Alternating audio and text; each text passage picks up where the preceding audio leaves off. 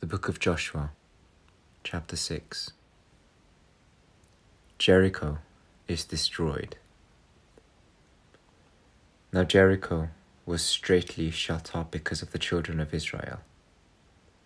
None went out, and none came in. And the Lord said unto Joshua, See, I have given into thine hand Jericho, and the king thereof, and the mighty men of valour. And ye shall compass the city, and all ye men of war, and go round about the city once. Thus shalt thou do six days. And seven priests shall bear before the ark seven trumpets of ram's horns. And the seventh day you shall compass the city seven times, and the priests shall blow with the trumpets.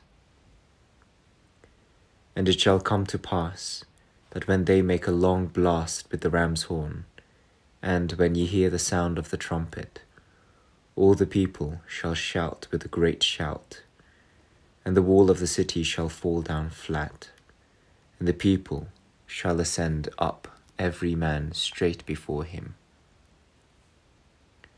And Joshua the son of Nun called the priests and said unto them, Take up the ark of the covenant, and let seven priests bear seven trumpets of ram's horns before the ark of the Lord.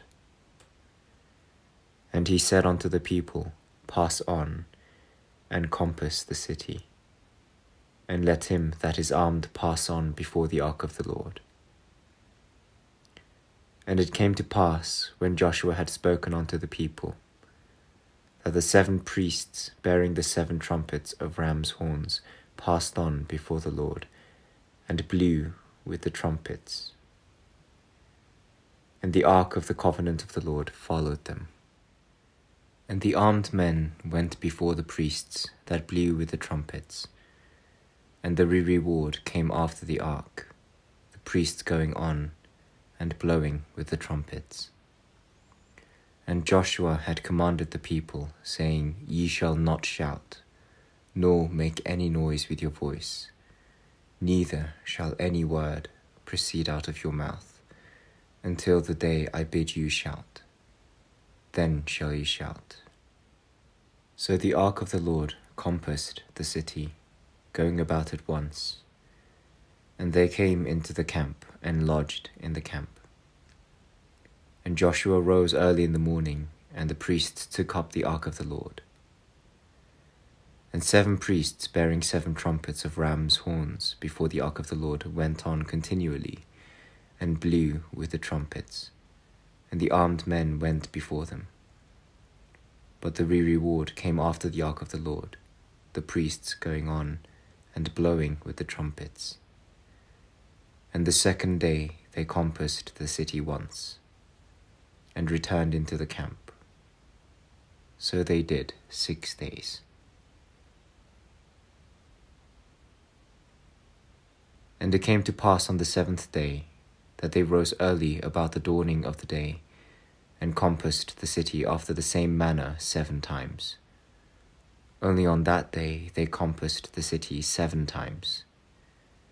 And it came to pass at the seventh time, when the priests blew with the trumpets, Joshua said unto the people, Shout, for the Lord hath given you the city.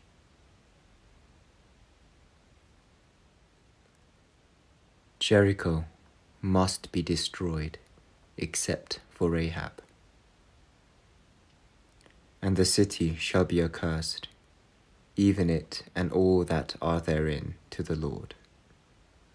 Only Rahab the harlot shall live, she and all that are with her in the house, because she hid the messengers that we sent. And ye in any wise keep yourselves from the accursed thing lest ye make yourselves accursed. When ye take of the accursed thing and make the camp of Israel a curse, and trouble it. But all the silver and gold and vessels of brass and iron are consecrated unto the Lord. They shall come into the treasury of the Lord. So the people shouted when the priests blew with the trumpets And it came to pass when the people heard the sound of the trumpet, and the people shouted with a great shout, that the wall fell down flat, so that the people went up into the city, every man straight before him, and they took the city. And they utterly destroyed all that was in the city, both man and woman, young and old, and ox and sheep and ass with the edge of the sword. But Joshua had said unto the two men that had spied out the country, Go into the harlot's house, and bring out thence the woman, and all that she hath, as ye swear unto her. And the young men that were spies went in, and brought out Rahab, and her father, and her mother, and her brethren, and all that she had, and they brought out all her kindred, and left them without the camp of Israel. And they burnt the city with fire, and all that was therein. Only the silver and the gold, and the vessels of brass and of iron, they put into the treasury of the house of the Lord. And Joshua saved Rahab the harlot alive, and her father's household, and all that she had and she dwelleth in Israel even unto this day, because she hid the messengers which Joshua sent to spy out Jericho.